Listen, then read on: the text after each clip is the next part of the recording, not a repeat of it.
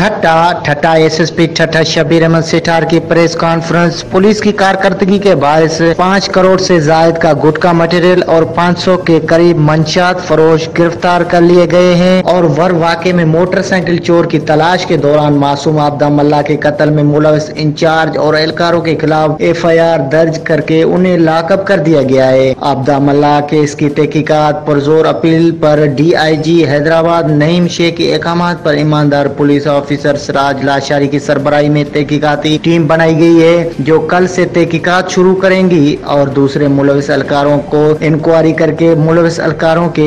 اوپر بھی کاروائی کی جائے گی مزید ایس ایس پی ٹھٹا نے کہا ہے کہ مجھے اس واقعے کا دلی صدمہ پہنچا ہے مگر عبدہ ملا جیسا واقعہ کسی بھی صورت میں ناقابل برداشت ہے انہوں نے صحافیوں کے آگے ٹھٹا کے مقامی عوام کو یقین دلائے ہوئے کہا ہے کہ ٹھٹا پولیس کی کسی بھی قسم کی شکایت ہو تو چھٹا کے عوام کے لیے میرے دروازے ہمیشہ کھلے ہیں اور کھلے رہیں گے کیمرہ ٹیم کے ساتھ الطاف جو راز نیوز چھٹا